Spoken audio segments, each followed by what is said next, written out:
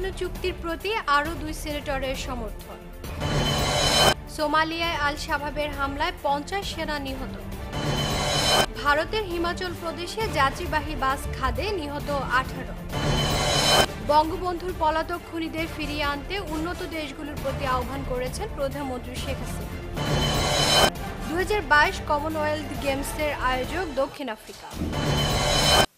আসসালামু আলাইকুম। শুভেচ্ছা সহ আমন্ত্রণ জানাচ্ছি মিলেনিয়াম সংবাদে। এতক্ষণ প্রধান শিরোনামগুলো শুনছিলেন, এবারে বিস্তারিত। আর পুরো সংবাদে আপনাদের সঙ্গে থাকব আমি ফাতেমা কাউসার। ইরানের পরমাণু চুক্তির প্রতি আরও দুজন মার্কিন সিনেটর তাদের সমর্থন জানিয়েছেন। মঙ্গলবার ইরান ও ছয় জাতি গোষ্ঠীর মধ্যকার পরমাণু চুক্তির পক্ষে ডেমোক্রেট দলের সিনেটর বব ক্যাসি ও ক্রিস কোন্স নিজেদের সমর্থন ঘোষণা করেন। এদিকে শক্তি প্রয়োগ করে কোনো ফল পাওয়া যায় না উল্লেখ করে ইরানি পার্লামেন্ট স্পিকার আলী লারিজানি বলেছেন, তেহরানের ধৈর্যের কারণে বিশ্ব শক্তিবর্গের সঙ্গে একটি সফল চুক্তিতে পৌঁছা সম্ভব হয়েছে। ইরানের পরমাণু কর্মসূচি নিয়ে ভিয়েনায় কূটনীতিকদের টানা দু সপ্তাহ আলোচনা শেষে গত চোদ্দই জুলাই তেহরান ও ছয় বিশ্ব শক্তির মধ্যে একটি চূড়ান্ত সমঝোতা হয়। কিন্তু চুক্তিতে পৌঁছার বর্ধিত সময়সীমা নয় জুলাইয়ের মধ্যে সমঝোতা না হওয়ায় যুক্তরাষ্ট্রের নতুন আইন অনুযায়ী তা কার্যকরের আগে মার্কিন কংগ্রেসকে চুক্তির বিষয়গুলো পর্যালোচনার জন্য দুই মাস সময় দেওয়া হয়। এই অবস্থায় মঙ্গলবার মার্কিন কংগ্রেসের উচ্চকক্ষ সিনেটের আরও দুজন ডেমোক্রেট সদস্য চুক্তির প্রতি তাদের সমর্থন জানিয়েছেন। এ নিয়ে মোট তেত্রিশ জন সিনেটর ইরানের পরমাণু চুক্তির পক্ষে সমর্থন দিলেন। ডেমোক্রেটদের আশা, চলতি মাসে রিপাবলিকানদের চুক্তি প্রত্যাখ্যানের প্রস্তাবের উপর ভোটাভুটিতে তারা অন্তত একচল্লিশ জন সিনেটরের সমর্থন পাবেন।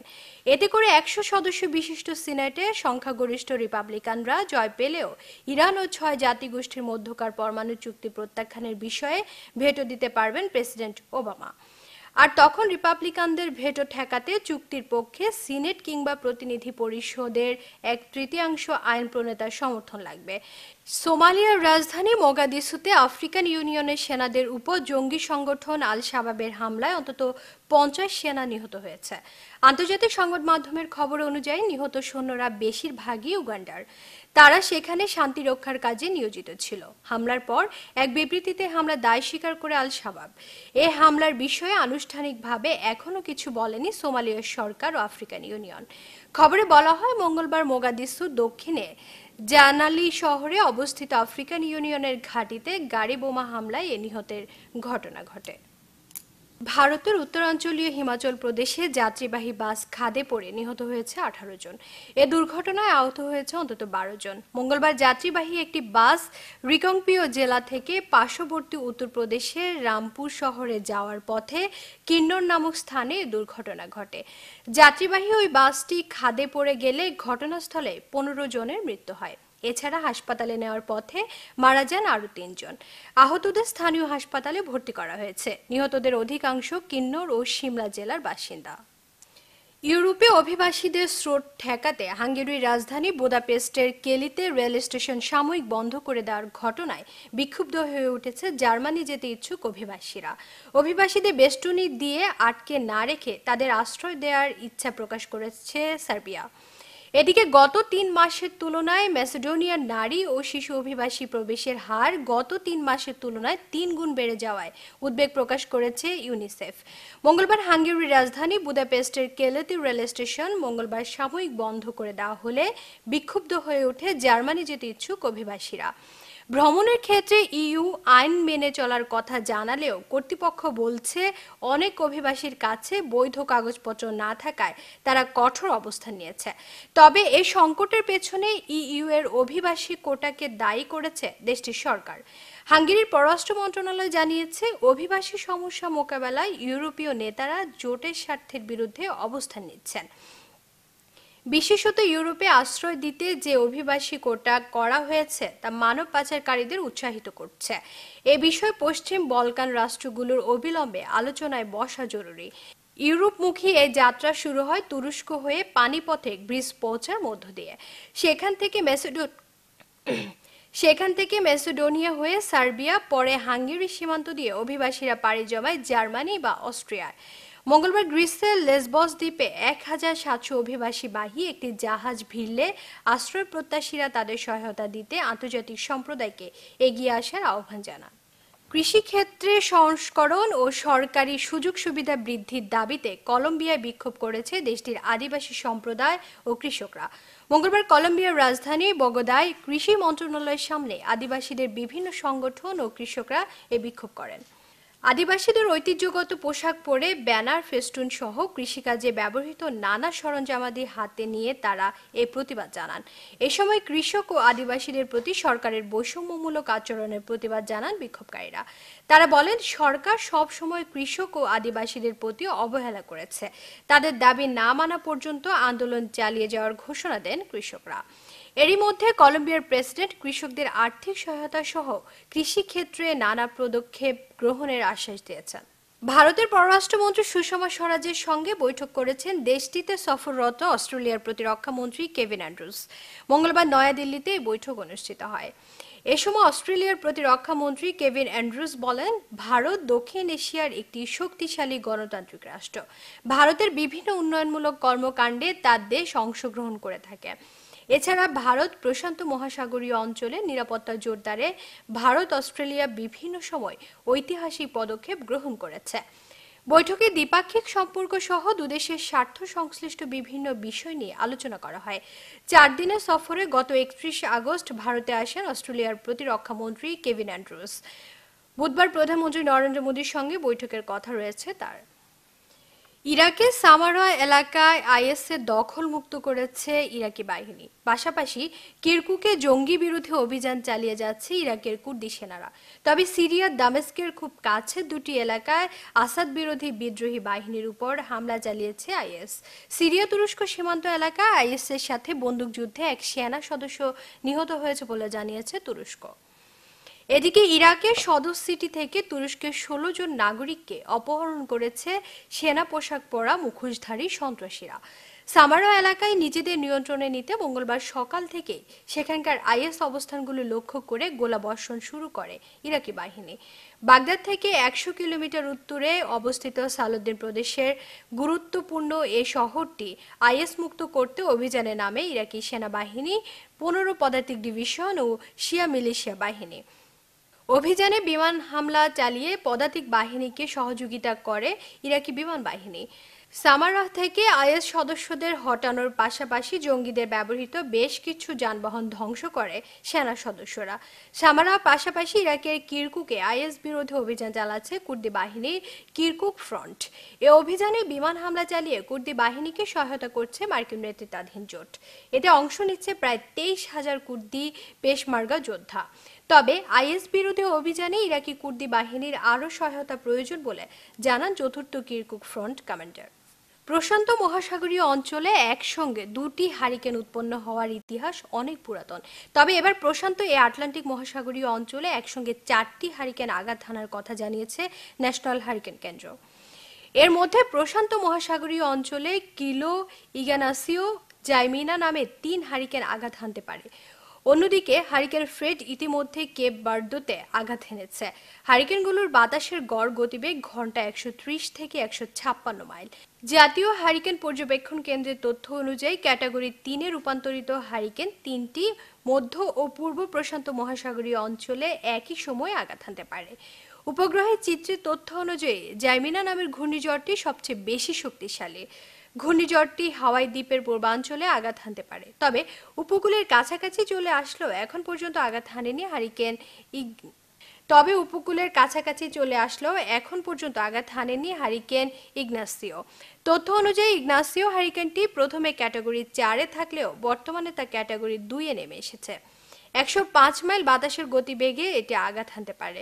অপরদিকে হারিকেন কিলো ক্যাটাগরি তিন হারিকেনে রূপান্তরিত হয়েছে, যার বাতাসের গতিবেগ ঘন্টায় একশো পঁচিশ মাইল। তবে এটি ভূখণ্ডে আঘাত হানার সম্ভাবনা নেই। ইতিমধ্যে ঘূর্ণিঝড় ফ্রেড আটলান্টিক মহাসাগরীয় পশ্চিম আফ্রিকার উপকূলীয় অঞ্চল কেপ বার্ড দ্বীপপুঞ্জে একশো বিশ কিলোমিটার গতিবেগে আঘাত হেনেছে। ইতিমধ্যে ঘূর্ণিঝড় ফ্রেড আটলান্টিক মহাসাগরীয় পশ্চিম আফ্রিকার উপকূলীয় অঞ্চল কেপ বার্দ দ্বীপপুঞ্জে একশো বিশ কিলোমিটার গতিবেগে আঘাত হেনেছে। প্রিয় দর্শক, মিলেনিয়াম সখন আমাদের সাথে থাকার জন্য ধন্যবাদ। আইএসএ যোগ দিতে তুরস্ক হয়ে সিরিয়া যাওয়ার পথে নয় ব্রিটিশ নাগরিককে আটক করেছে তুর্কি সেনাবাহিনী। আটককৃতদের মধ্যে দুই নারী ও চার শিশু রয়েছে বলে ব্রিটিশ কর্তৃপক্ষের বরাতে আন্তর্জাতিক সংবাদ মাধ্যমগুলো জানিয়েছে। মঙ্গলবার বিকেলে সিরিয়া সীমান্তবর্তী হাতাই প্রদেশ দিয়ে সিরিয়া প্রবেশের চেষ্টা করার সময় তাদের আটক করা হয় বলে নিশ্চিত করেছে তুরস্ক সেনাবাহিনীর এক মুখপাত্র। এর আগে চলতি বছরের ফেব্রুয়ারি মাসে তিন ব্রিটিশ কিশোরী তুরস্ক হয়ে সিরিয়ার রাক্কা শহরে চলে যায়। পরে বিভিন্ন সামাজিক যোগাযোগ মাধ্যমে আইএসএ যোগদানের ছবি প্রকাশ করে তারা। উত্তর কোরিয়া কখনোই দক্ষিণ কোরিয়া ও যুক্তরাষ্ট্রের সঙ্গে সংঘাতপূর্ণ মনোভাব থেকে সরে আসবে না বলে মন্তব্য করেছে মার্কিন প্রতিরক্ষা মন্ত্রী অ্যাস্টন কার্টার। মাইন বিস্ফোরণ নিয়ে দক্ষিণ কোরিয়ার সঙ্গে সাম্প্রতিক সংঘর্ষ ও যুদ্ধাবস্থা প্রসঙ্গে এমন মন্তব্য করেন তিনি। কোরিয়া যুদ্ধ করে কোন কোরিয়া যুদ্ধ করে কোনোভাবে ওয়াশিংটন ও তাদের অংশীদার সিওলকে হারাতে পারবে না বলেও জানান তিনি। এদিকে উত্তর ও দক্ষিণ কোরিয়ার এখনই দ্বিপক্ষীয় সম্পর্ক উন্নয়নের কাজ করা উচিত বলে জানিয়েছেন দুই কোরিয়ান পুনরেকীকরণ মন্ত্রণালয়ের মুখপাত্র। গেল মাসের শেষ ভাগে উত্তর কোরিয়ার মাইন বিস্ফোরণ নিয়ে যুদ্ধাবস্থা তৈরি হওয়ার পর যেমন আলোচনার মধ্য দিয়ে সীমান্ত উত্তেজনা নিরসন করা হয়েছিল, সেভাবে উভয় পক্ষের মধ্যে বিদ্যমান সমস্যাগুলো সমাধান করে ফেলা উচিত বলেও জানান তিনি। প্রিয় দর্শক, এবার মিলেনিয়াম বাংলাদেশ প্রসঙ্গ।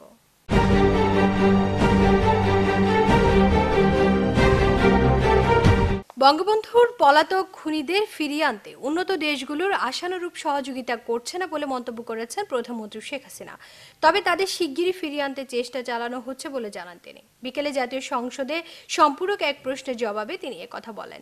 এ সময় পঁচাত্তরে তার পরিবারে ঘটে যাওয়া হত্যাকাণ্ডের কথা স্মরণ করতে গিয়ে আবেগ আপ্লুত হয়ে পড়েন তিনি। পরে প্রধানমন্ত্রী রাষ্ট্রীয় উদ্যোগে বঙ্গবন্ধুকে নিয়ে চলচ্চিত্র নির্মাণের ঘোষণা দেন। শেখ হাসিনা আরও বলেন, জাতির পিতাকে হত্যা করেছে এবং যাদের বিচারের রায় হয়েছে, তাদের ভেতরে যারা বাংলাদেশে ছিল, তাদের বিচারের রায় কার্যকর করা হয়েছে। বর্তমানে বঙ্গবন্ধুর খুনিদের মধ্যে দুজন আমেরিকায়, একজন কানাডায় রয়েছে, আর দুজন লিবিয়াতে ছিল, এখন পাকিস্তানে আছে। বঙ্গবন্ধু প্রধানমন্ত্রী বলেন বঙ্গবন্ধু নিয়ে বিশাল রাজনৈতিক চরিত্র বা ব্যক্তিদের উপর চলচ্চিত্র প্রামাণ্যচিত্র নির্মাণের জন্য গবেষণা সহ দেশ ও দেশের বাইরে ছড়িয়ে ছিটিয়ে থাকা তথ্য উপাত্ত সংগ্রহ করা প্রয়োজন। গবেষণালব্ধ তথ্য উপাত্তের ভিত্তিতে জাতির পিতা বঙ্গবন্ধু শেখ মুজিবুর রহমানের জীবনীর উপর চলচ্চিত্র প্রামাণ্যচিত্র নির্মাণের উদ্যোগ অচিরে গ্রহণ করব। প্রধান বিচারপতি এস কে সিনহা বলেছেন, মামলা জট কমাতে চট্টগ্রামের পাশাপাশি বিভাগীয় শহরগুলোতে হাইকোর্টের সার্কিট বেঞ্চ স্থাপন করা হচ্ছে। বুধবার দুপুরে চট্টগ্রাম আইনজীবী সমিতি মিলনায়তনে এক মতবিনিময় সভায় তিনি কথা বলেন। তিনি বলেন, চলতি বছরের মধ্যে বিচারিক আদালতের শূন্য পদগুলোতে বিচারক নিয়োগ সম্পূর্ণ হবে। জলাবদ্ধতার এই সমস্যা বছরের পর বছর চলে এলেও সরকারি দপ্তরগুলোর সমন্বয়হীনতার কারণে সমাধান মিলছে না বলে মন্তব্য করেছেন নগর পরিকল্পনাবিদরা। অন্যদিকে সমস্যা সমাধানে আবারও আসার কথা শোনালেন ঢাকা দক্ষিণের নগরপিতা হালকা অথবা মাঝারি বৃষ্টিতে তলিয়ে যাচ্ছে রাজধানীর রাজপথ, অলিগলি, মার্কেট, বাসাবাড়ি সহ বিভিন্ন স্থাপনা। কোথাও কোথাও হাঁটু পানি বা কোমর পানি হওয়ায় বাসা থেকে বের হয়েই সাধারণ মানুষকে পড়তে হচ্ছে চরম দুর্ভোগে। আবার হঠাৎ বৃষ্টিতে দোকানপাট তলিয়ে যাওয়ায় লোকসান গুনছেন ব্যবসায়ীরা। নগর পরিকল্পনাবিদরা বলছেন, রাজধানীর ড্রেনেজ ব্যবস্থাপনা এবং পানি নিষ্কাশনে সরকারের সংশ্লিষ্ট দপ্তরগুলোর সমন্বয়হীনতার কারণে জলাবদ্ধতার সৃষ্টি হচ্ছে এবং সাধারণ মানুষকে পড়তে হচ্ছে নানা সমস্যায়। এছাড়াও গত পনেরো বছর ধরে এসব সমস্যা সমাধান না হওয়ার জন্য অপরিকল্পিত নগরায়নকে দায়ী করছেন তারা। এদিকে শান্তিনগরে জলাবদ্ধতা পরিস্থিতি পর্যবেক্ষণে গিয়ে সমস্যা সমাধানে নতুন আসার কথা শোনালেন ঢাকা দক্ষিণ সিটি কর্পোরেশনের মেয়র সাইদ খোকন। তবে সবকিছুর পরও শিগগিরই এই সমস্যার সমাধান হবে বলে প্রত্যাশা সাধারণ মানুষের। প্যারিস সম্মেলনে জলবায়ু অর্থায়নের স্বচ্ছতা ও জবাবদিহিতা নিশ্চিতের দাবি জানিয়েছেন ট্রান্সপারেন্সি ইন্টারন্যাশনাল বাংলাদেশ টিআইবি। পাশাপাশি ক্ষতিগ্রস্ত দেশগুলোকে অগ্রাধিকার দেওয়ার দাবিও জানানো হয়। বুধবার সকালে চট্টগ্রাম প্রেস ক্লাবে অনুষ্ঠিত এক সংবাদ সম্মেলনে দাবি জানান টিআইবির কর্মকর্তারা। প্রিয় দর্শক, এখন দেখবেন আমাদের বিভিন্ন প্রতিনিধিদের পাঠানো সংবাদ।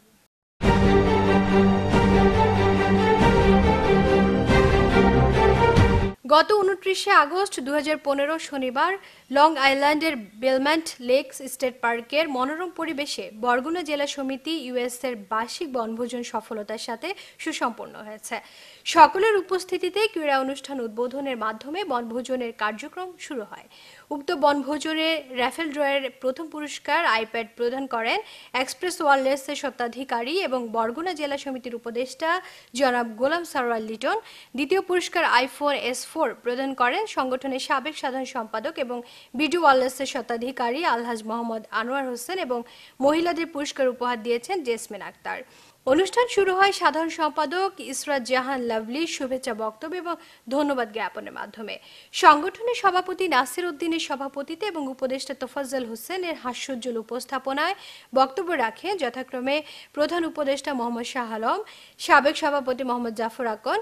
উল্লেখ্য, সকলেই পরিবারের প্রায় সকল সদস্যবর্গ নিয়ে উপস্থিত ছিলেন। সাংস্কৃতিক অনুষ্ঠান পরিচালনা করেন বরগুনার দুলাভাই বাপ্পি আহমেদ সংগীত পরিবেশন করেন শামিমা আলম মুন্নি লাভলি ইসলাম ও রেজবুল করে যুক্তরাষ্ট্র বিএনপির উদ্যোগে গত এক সেপ্টেম্বর সন্ধ্যায় নিউ ইয়র্কে বিএনপির প্রতিষ্ঠা বার্ষিকী পালন করা হয়েছে। প্রতিষ্ঠা বার্ষিকীতে বিএনপির প্রতিষ্ঠাতা প্রয়াত রাষ্ট্রপতি জিয়াউর রহমানের ত্যাগ ও আদর্শের বিষয়ে আলোকপাত করা হয়। নিউ ইয়র্ক থেকে সাকওয়াত হোসেন সেলিম জানান বিএনপি চেয়ারপারসন বেগম খালেদা জিয়া ও সিনিয়র ভাইস প্রেসিডেন্ট তারেক রহমানের বাংলাদেশের প্রতি অবদান ও তাদের দক্ষ নেতৃত্বে দলের যে কোনো কর্মসূচি পালনে যুক্তরাষ্ট্র বিএনপি অঙ্গীকারবদ্ধ বলে দৃঢ় প্রত্যয় ব্যক্ত করেন। যুক্তরাষ্ট্র বিএনপির সাবেক সভাপতি ডক্টর মুজিবুর রহমান মজুমদারের সভাপতিতে তারেক রহমান স্বদেশ প্রত্যাবর্তন পরিষদের সভাপতি পারভেজ সাজ্জাদের পরিচালনায় নিউ ইয়র্কের জ্যাকসন হাইটস হাটবাজার মিলনায়তনে সাঁত্রিশতম প্রতিষ্ঠাবার্ষিকী পালিত হয়। বিএনপির সর্বস্তরের নেতাকর্মীরা ঐক্যবদ্ধভাবে হাসিনা প্রতিরোধ কর্মসূচিতে অংশগ্রহণ করার আহ্বান জানান। অনুষ্ঠানে প্রধান অতিথি হিসেবে উপস্থিত ছিলেন ঢাকা মহানগর বিএনপির সাবেক সাধারণ সম্পাদক আব্দুল সালাম, জিল্লুর রহমান জিল্লু, সহসভাপতি ইলিয়াস মাস্টার, অ্যাডভোকেট খায়রুল বশার, জাসাস কেন্দ্রীয় কমিটির উপদেষ্টা শিল্পী বেবি নাজনীন প্রমুখ। বাংলাদেশ জাতীয়তাবাদী দল বিএনপির মালয়েশিয়া শাখার উদ্যোগে সাঁত্রিশতম প্রতিষ্ঠা বার্ষিকী পালিত হয়েছে। পয়লা সেপ্টেম্বর স্থানীয় সময় বারোটা এক মিনিটে কুয়ালালামপুরের আমপাং রেস্টুরেন্ট পেলিতায় কেক কাটার মাধ্যমে প্রতিষ্ঠাবাসীকে পালিত হয়। মালয়েশিয়া স্বেচ্ছাসেবক দলের সাধারণ সম্পাদক এস এম বশির আলম ও বিএনপির নেতা মির্জা সালুদ্দিন অনুষ্ঠান পরিচালনায় আলোচনা সভা সভাপতিত্ব করেন মালয়েশিয়া বিএনপি সদস্য সচিব মোহাম্মদ মোশারফ হোসেন। মালয়েশিয়া থেকে আহমদুল কবি জানান সবাই বক্তব্য রাখেন বিএনপি নেতা মোহাম্মদ তালহা মাহমুদ, সাকাত হোসেন, চট্টগ্রাম জেলা যুবদলের সদস্য সিরাজুল ইসলাম মাহমুদ, যুবদলের ভারপ্রাপ্ত সভাপতি জাহাঙ্গীর আলম রনি, যুবদলের সাধারণ সম্পাদক রফিকুল ইসলাম ইলিয়াস, সাংগঠনিক সম্পাদক আহমেদ হোসেন সাগর প্রমুখ। বিএনপির প্রতিষ্ঠা বার্ষিকীতে শহীদ জিয়া ও আরাফাত রহমান কোকর রুহের মাগফেরাত কামনা, সেই সাথে দেশনেত্রী বেগম খালেদা জিয়া ও আগামী দিনের রাষ্ট্রের নায়ক তারেক রহমানের সুস্বাস্থ্য কামনা করে মোনাজাত করা হয়। আধিপত্য বিস্তারকে কেন্দ্র করে চট্টগ্রাম নগরীর বায়েজিৎ থানার পলিটেকনিক এলাকায় যুবলীগ ক্যাডার মেহেদি হাসান বাদলকে গুলি করে হত্যা করেছে প্রতিপক্ষের সন্ত্রাসীরা। আমাদের চট্টগ্রাম জেলা প্রতিনিধি মেজবউদ্দিন চৌধুরী জানান, গতরাত সাড়ে দশটার দিকে বাইজিৎ থানার সাংবাদিক হাউজিং সোসাইটি এলাকায় তাকে গুলি করা হয়। আশঙ্কাজনক অবস্থা উদ্ধার করে চট্টগ্রাম মেডিকেল কলেজ হাসপাতালে আনা হলে কর্তব্যরত চিকিৎসক মৃত ঘোষণা করেন। রাতে মেহেদি হাসান বাদলের লাশ দেখতে গিয়ে নগর পুলিশের অতিরিক্ত কমিশনার দেবদাস ভট্টাচার্য উপস্থিত সাংবাদিকদের বলেন, হত্যার ধরন দেখে মনে হচ্ছে পরিকল্পিতভাবে খুন করা হয়েছে। হত্যাকারীদের গ্রেফতারে পুলিশ অভিযান চালাচ্ছে। এদিকে নিজ অনুসারী মেহেদি হাসান বাদলের লাশ দেখতে রাতে হাসপাতালে যান মেয়র আজম ও নাসির উদ্দিন। এ সময় তিনি বলেন, হত্যাকারীদের ধরতে পুলিশকে নির্দেশ দেন। মহান স্বাধীনতা সংগ্রাম ও ব্রিটিশ বিরোধী সশস্ত্র সংগ্রামের মহানায়ক যতীন্দ্রনাথ মুখোপাধ্যায়ের মৃত্যু শতবার্ষিকী উপলক্ষে কুষ্টিয়ার কয়ায় তার বাস্তুভিটায় আলোচনা সভা অনুষ্ঠিত হয়েছে। কয়া মহাবিদ্যালয় মাঠে অনুষ্ঠিত এই আলোচনা মহা, আলোচনায় বাংলাদেশ ও ভারত থেকে আসা অতিথিবৃন্দুর অংশ নেয়। কুষ্টিয়া জেলা প্রতিনিধি এস এম মাহফুজুর রহমান জানান, বাঘা যতীনের মৃত্যু শতবার্ষিকী উদযাপন জাতীয় কমিটির যুগ্ম চেয়ারম্যান অধ্যাপক মোন্তাসির মাহমুদের সভাপতিতে এতে প্রধান অতিথির বক্তব্য রাখেন যতীনের পৌত্র ভারত থেকে আগত শ্রী ইন্দু জ্যোতি মুখোপাধ্যায়। এছাড়া উপমহাদেশের মুক্তি সংগ্রামে বিপ্লবী যতীনের অবদান তুলে ধরে বক্তব্য রাখেন লেখক সাংবাদিক শাহরিয়ার কবির, মুক্তিযুদ্ধকালীন আট নং সেক্টরের অধিনায়ক লেফটেন্যান্ট কর্নেল আবু ওসমান চৌধুরী, ভারত থেকে আগত শ্রী অরিন্দম মুখোপাধ্যায়, কুষ্টিয়া জেলা প্রশাসক সৈয়দ বেলাল হোসেন, পুলিশ সুপার প্রলয় সিসিম ও কয়া ইউনিয়ন পরিষদের চেয়ারম্যান জিয়াউল ইসলাম স্বপন প্রমুখ। বক্তারা বলেন, বাঘা যতীনের নামে ভারতবর্ষে অনেক কিছু রয়েছে। বাঘা যতীন যুদ্ধে বিজয়ী হলে ভারতবর্ষের ইতিহাস লেখা হতো অন্যভাবে। উনিশশো পনেরো সালের এই দিনে অকুত ভয় এই মহান বিপ্লবী মৃত্যুবরণ করেন। কুষ্টিয়ার কয়া গ্রামে জন্ম নিয়ে তিনি কাঁপিয়ে দিয়েছিলেন ব্রিটিশ শাসনের ভিত। নিরপেক্ষ মুক্ত সমাজ গড়ি পরিবেশের ভারসাম্য রক্ষা করি। স্লোগানকে সামনে নিয়ে দিশারি সমাজ কল্যাণ কর্তৃক এ প্লাস প্রাপ্ত শিক্ষার্থীদের মধ্যে সংবর্ধনা অনুষ্ঠান অনুষ্ঠিত হয়েছে। আমাদের প্রতিনিধি এমদাদুল হক জানান গতকাল নবীগঞ্জ উপজেলার মাহবুবা কমিউনিটি সেন্টারে সংবর্ধনা অনুষ্ঠানে সভাপতিত্ব করেন সাবেক চেয়ারম্যান মতিউর রহমান পেয়ারা এবং পরিচালনা করেন সংগঠনের সভাপতি মোহাম্মদ শাকির আলী। উক্ত অনুষ্ঠানে প্রধান অতিথি হিসাবে বক্তব্য রাখেন হবিগঞ্জ এক নির্বাচনী এলাকার সংসদ সদস্য এম এ মুনিব চৌধুরী বাবু। বিশেষ অতিথি হিসেবে বক্তব্য রাখেন বিশিষ্ট সমাজসেবক মোহাম্মদ আলাউর রহমান, আমেরিকার প্রবাসী বিশিষ্ট সমাজসেবক মোহাম্মদ কেরামত আলী সাবেক এমসি কলেজের অধ্যাপক মোহাম্মদ আব্দুল হাই, সাংবাদিক এমদাদুল হক, প্রভাষক শাহিন আক্তার, প্রভাষক ফাতেমা মোতারেব জলবায়ু পরিবর্তনের প্রভাবে পৃথিবীর সবচাইতে ঝুঁকিপূর্ণ দেশগুলোর মধ্যে অন্যতম বাংলাদেশ। জলবায়ু পরিবর্তনের প্রভাবে দেশে ঝড়, বন্যা, খরা, জলোচ্ছ্বাস, নদী ভাঙন, তীব্র তাপ অনুভূত হচ্ছে। এর ভয়াবহতা আরও বৃদ্ধি পেতে পারে যদি প্যারিসে অনুষ্ঠিতব্য আসন্ন কপ একুশ সম্মেলনে সর্বোচ্চ কার্বন নিঃসরণকারী দেশগুলোর প্রতিশ্রুতি, অর্থায়নে স্বচ্ছতা এবং জবাবদিহিতা নিশ্চিত করা সম্ভব না হয়। আমাদের চট্টগ্রাম জেলা প্রতিনিধি মেজবউদ্দিন চৌধুরী জানান, সকালে চট্টগ্রাম প্রেস ক্লাব মিলনায়তনে প্যারিসে আসন্ন আন্তর্জাতিক বিষয়ক জলবায়ু সম্মেলনে কোপ একুশ উপলক্ষে সচেতন নাগরিক কমিটি সনাগ আয়োজিত সাংবাদিক সম্মেলনে সংগঠনের সভাপতি প্রকৌশলী দেলোয়ার হোসেন মজুমদার এ মন্তব্য করেন। সংবাদ সম্মেলনে Transparency International Bangladesh TIB area manager Mohammad Jasim Uddin সহ সচেতন নাগরিক কমিটি চট্টগ্রাম মহানগর নেতৃবৃন্দ উপস্থিত ছিলেন। উপাচার্যের পদত্যাগ ও ছাত্রলীগের হামলার প্রতিবাদে শাহজালাল বিজ্ঞান ও প্রযুক্তি বিশ্ববিদ্যালয়ের অর্ধ দিবস কর্মবিরতি পালন করেছে আন্দোলনরত শিক্ষকরা। সিলেট প্রতিনিধি আবু তাহের চৌধুরী জানান ধর্মঘট চলাকালে বেলা এগারোটায় শিক্ষকরা ক্যাম্পাসে মৌন র্যালি বের করে। র্যালিটি ক্যাম্পাস প্রদক্ষিণ করে ভিসি ভবনের সামনে গিয়ে মিলিত হয়। সমাবেশে বক্তারা বলেন, ভিসির পদত্যাগ না হওয়া পর্যন্ত তারা আন্দোলন অব্যাহত রাখবেন। এদিকে ভিসি বুধবার অফিসে ছিলেন না, কর্মবিরতি চললেও বিশ্ববিদ্যালয় বিভাগীয় পরীক্ষা অনুষ্ঠিত হয়েছে। হবিগঞ্জের মাধবপুর উপজেলা পরিষদ প্রাঙ্গণে উপজেলা মহিলা আওয়ামী লীগ আয়োজিত মহিলা সমাবেশে প্রধান অতিথির বক্তৃতা করেন সমাজ কল্যাণ মন্ত্রী সৈয়দ মহসিন আলী। আমাদের হবিগঞ্জ প্রতিনিধি এম এ আজিজ জানান সমাজ কল্যাণ মন্ত্রী সৈয়দ মহসিন আলী বলেন, বিএনপি এখন রাজনীতিতে আসতে চায়। তারা এখন আপোষ করতে চায়। আমরা সেই আপোষে তাদের সাথে নেই। নির্বাচনে না আসায় খালেদা জিয়ার কথা এখন কেউ শুনে না। মানুষ এখন বিএনপিকে ঘৃণা চোখে দেখে। খালেদা জিয়ার নাম মানুষ ভুলে গেছে। রোজিন আক্তারের সভাপতিত্বে অন্যান্যদের মধ্যে বক্তব্য রাখেন উপজেলা আওয়ামী লীগ সভাপতি মুক্তিযোদ্ধা শাহ মোহাম্মদ মুসলিম প্রমুখ। জেলার গোবিন্দগঞ্জ উপজেলার পানিতলা হাট দাখিল মাদ্রাসায় সুপারের দায়িত্বহীনতায় কাউসারা আক্তার নামে এক ছাত্রী অসুস্থ হয়ে মৃত্যুর অভিযোগে গতকাল বুধবার সকাল এগারোটা থেকে মাদ্রাসার সহপাঠীরা ক্লাস বর্জন করে মানববন্ধন করে। আমাদের গাইবান্ধা প্রতিনিধি মাহমুদ খান জানান।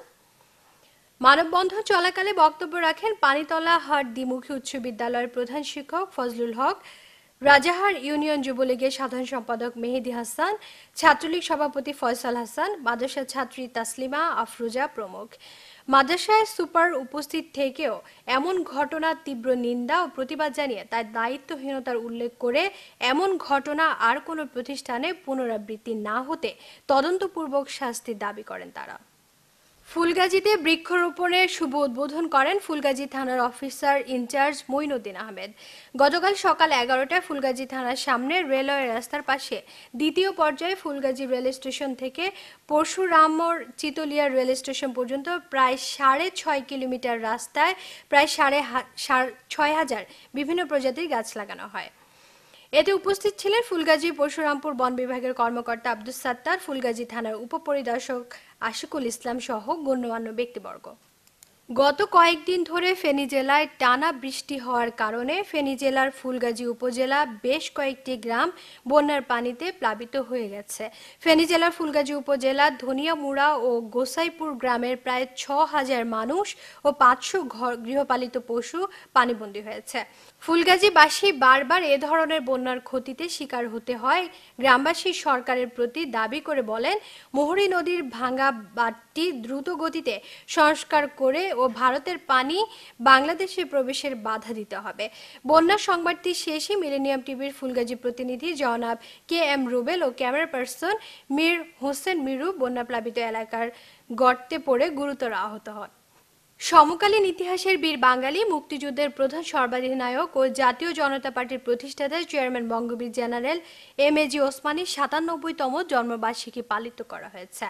আমাদের ওসমানীনগর বালাগঞ্জ প্রতিনিধি সাইফুর এম রেফুল জানান গত এক সেপ্টেম্বর জেনারেল ওসমানীর পৈতৃক ভূমি ওসমানীনগর উপজেলার দয়ামিরে নির্মিত ওসমানী গ্রন্থাগার জাদুঘরে মাসিক Rupashi Sylhet Osmaninagar news twenty four dot com এর যৌথ উদ্যোগে আয়োজিত আলোচনা সভা ও চিত্রাঙ্কন প্রতিযোগিতায় সভাপতিত্ব করেন আব্দুস সোবাহান সরকারি প্রাথমিক বিদ্যালয় পরিচালনা কমিটির সভাপতি সাংবাদিক বদরুল আলম চৌধুরী।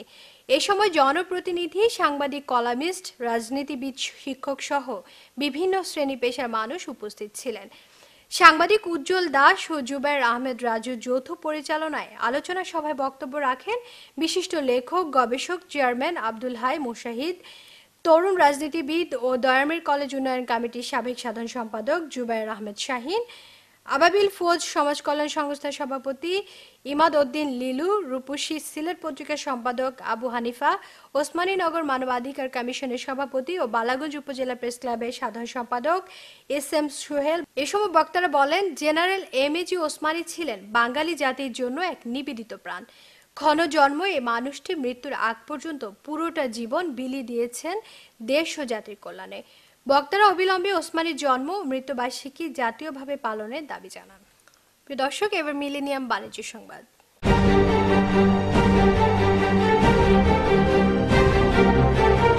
ব্যবসায়িক কার্যক্রম পুনর্গঠনের সিদ্ধান্ত নিয়েছে যুক্তরাষ্ট্রের সিটি গ্রুপ এ পুনর্গঠন প্রক্রিয়ায় প্রযুক্তির ব্যবহার বাড়ানোর মাধ্যমে নতুন গ্রাহকের সংখ্যাও বাড়াতে চাইছে আর্থিক খাতের এই প্রতিষ্ঠানটি। গত বছরে বিভিন্ন প্রতিষ্ঠানের অংশীদারিত্বমূলক ব্যবসায়িক কার্যক্রম থেকে সিটি গ্রুপ আয় করেছে প্রায় তিনশো কোটি ডলার। কিন্তু এই সময় একই খাতে প্রতিদ্বন্দ্বী আর্থিক প্রতিষ্ঠান গোল্ডম্যান স্যাক্স ও মর্গ্যান স্ট্যানলি আয় করেছে ছয়শো কোটি ডলারেরও বেশি। আর এ খাতের আয়ের প্রবৃদ্ধি বাড়াতে পুনর্গঠন কার্যক্রমের পরিকল্পনা করছে যুক্তরাষ্ট্রের সিটি গ্রুপ গত আগস্টেও উৎপাদন খাতে গতি ফেরাতে পারেনি চীন। যা ধীরগতির অর্থনীতির প্রভাব বলেই মনে করছেন বাজার বিশ্লেষকরা। সম্প্রতি দেশটির জাতীয় পরিসংখ্যান ব্যুরোর প্রকাশিত তথ্য অনুযায়ী, গেল আগস্টে উৎপাদন খাতে ক্রয় ব্যবস্থাপনা সূচক পিএমআই কমে দাঁড়িয়েছে উনপঞ্চাশ দশমিক সাত পয়েন্টে, যা দু হাজার বারো সালের আগস্টের পর সবচেয়ে কম। গেল জুলাই এই সূচকের অবস্থান ছিল পঞ্চাশ পয়েন্টে। অন্যদিকে উৎপাদন খাতে জুলাইয়ের তুলনায় আগস্টে উৎপাদন ও ক্রয়াদের সূচক দুটোই কমেছে দেশটিতে। যুক্তরাষ্ট্রের কেন্দ্রীয় ব্যাংক ফেডারেল রিজার্ভকে এখনই ব্যাংক ঋণের সুদের হার বাড়ানোর পরামর্শ দিয়েছে বিশ্বের শীর্ষ আর্থিক প্রতিষ্ঠানের কর্মকর্তারা। সম্প্রতি দেশটির কানসাসের জ্যাকসন হলে আয়োজিত এক অর্থনৈতিক সম্মেলনে ফেডারেল রিজার্ভকে এ পরামর্শ দেন তারা। যুক্তরাষ্ট্রের বাণিজ্যিক সহযোগী প্রতিষ্ঠানগুলো প্রস্তুত রয়েছে উল্লেখ করে সুদের হার বাড়ানোর সিদ্ধান্ত কার্যকরে আর দেরি করা উচিত হবে না বলেও সভায় মন্তব্য করেন আলোচকরা। জোরালো অর্থনৈতিক কার্যক্রম ও বেকারত্বের হার কমে যাওয়ায় ইতিবাচক অবস্থানে রয়েছে যুক্তরাষ্ট্র। আগামী ষোলোই সেপ্টেম্বর পরবর্তী সভায় সুদের হার বাড়ানোর বিষয়ে চূড়ান্ত সিদ্ধান্তে আসতে পারে ফেট এবারে জানিয়ে দিব মিলিনিয়াম খেলা সংবাদ।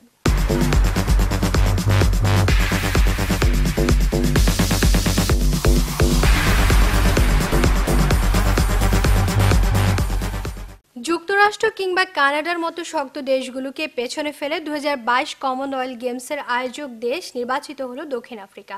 ক্রিকেট, রাগবি দেশটির শহর ডারবান বসবে কমনওয়েলথ গেমসের বাইশতম আসর। ডারবানের মসেস মাদিবে স্টেডিয়ামে প্রয়াত নেলসন ম্যান্ডেলার জন্মদিনের দিন পর্দা উঠবে দুই হাজার বাইশ কমনওয়েলথ গেমসের আসর। উনিশশো ত্রিশ সালে কানাডার হ্যামিল্টনে চারশো অ্যাথলিট নিয়ে অনুষ্ঠিত হয় কমনওয়েলথ গেমসের প্রথম আসর। যেটি একসময় ব্রিটিশ এম্পায়ার গেমস নামে পরিচিত ছিল। এরপর সময়ের পরিবর্তনে কখনো British Empire and Commonwealth Games, কখনো বা ব্রিটিশ কমনওয়েলথ গেমস নামে পরিচিতি পায় অ্যাথলেটিক্স জগতের বড় এই আসর। সর্বশেষ কমনওয়েলথ গেমস নামে প্রতিষ্ঠিত হয় অ্যাথলেটদের এই মঞ্চ।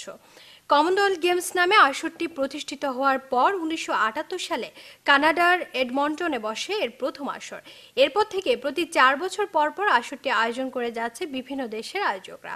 যার ধারাবাহিকতা দুই হাজার বাইশ কমনওয়েলথ গেমসের আয়োজক দেশ কারা হবে তা নিয়ে প্রতিযোগিতায় নামে আয়োজক দেশগুলো। যদিও ফেব্রুয়ারিতেই এই প্রতিযোগিতা থেকে নিজেদের নাম প্রত্যাহার করে নেয় কানাডার শহর এডমন্টন। তাই আয়োজক কারা হবে সেই সিদ্ধান্ত নিতে নিউজিল্যান্ডের অকল্যান্ডে বসে ফেডারেশনের সাধারণ সভা। যেখানে সদস্য দেশগুলোর ভোটের মাধ্যমে চূড়ান্তভাবে উঠে আসে দক্ষিণ আফ্রিকার শহর ডারবানের নাম। তাই প্রথমবারের মতো দু হাজার বাইশ সালে দক্ষিণ আফ্রিকার মাটিতে এখন বসার অপেক্ষায় বাইশতম কমনওয়েলথ গেমসের আসর। প্রিয় দর্শক মিলেনিয়াম সংবাদ শেষ করব। তার আগে প্রধান আয়োজনগুলো জানিয়ে দেব আরও একবার। ইরানের পরমাণু চুক্তির প্রতি আরও দুই সিনেটরের সমর্থন। সোমালিয়ায় আল শাবাবের হামলায় পঞ্চাশ সেনা নিহত। ভারতের হিমাচল প্রদেশে যাত্রীবাহী বাস খাদে নিহত আঠারো। বঙ্গবন্ধুর পলাতক খুনিদের ফিরিয়ে আনতে উন্নত দেশগুলোর প্রতি আহ্বান করেছেন প্রধানমন্ত্রী শেখ হাসিনা। কমনওয়েলথ গেমসের আয়োজক দক্ষিণ আফ্রিকা। এই ছিল মিলিনিয়াম সংবাদে। এছাড়া যে কোনো খবর পেতে আপনারা লগ ইন করুন মিলিনিয়াম টিভি ডট নেট এতক্ষণ সাথে থাকার জন্য ধন্যবাদ। আল্লাহ হাফেজ।